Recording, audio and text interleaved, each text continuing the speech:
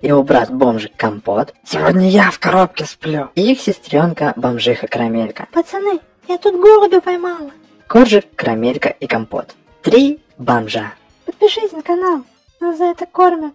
Игра в кальмара. Как-то раз, обычным летним днем, наши коты случайно нашли телефон. Эй, пацаны, вылазьте. Смотрите, что нашла. Звони по какому номеру? Узнаем, чей телефон. Может, пожрать дадут. Хм, странно. Ну тут только один номер. Короче, я звоню. Алло, Вася, это ты? Какой Вася? Я Карамель. Мы тут телефон на мусорке нашли. Вернем, если дадите горсть этикета и помыться. А, это кошары. Я хочу предложить сыграть вам в игру. И если вы сможете победить, вас ждут горы вискас. И лоток чистый подгоню. И что нужно делать? За углом дома вас ждет машина. Прыгайте в нее, она увезет вас в нужное место. Ну все, по лапам. Сейчас мы уезжаем.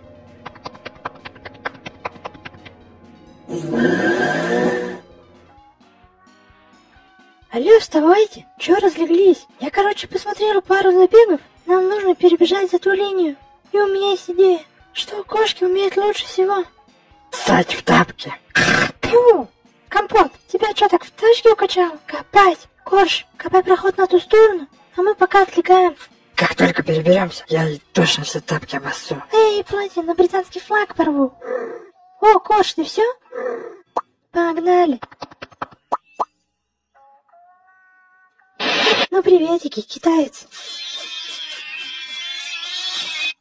Вот так-то лучше.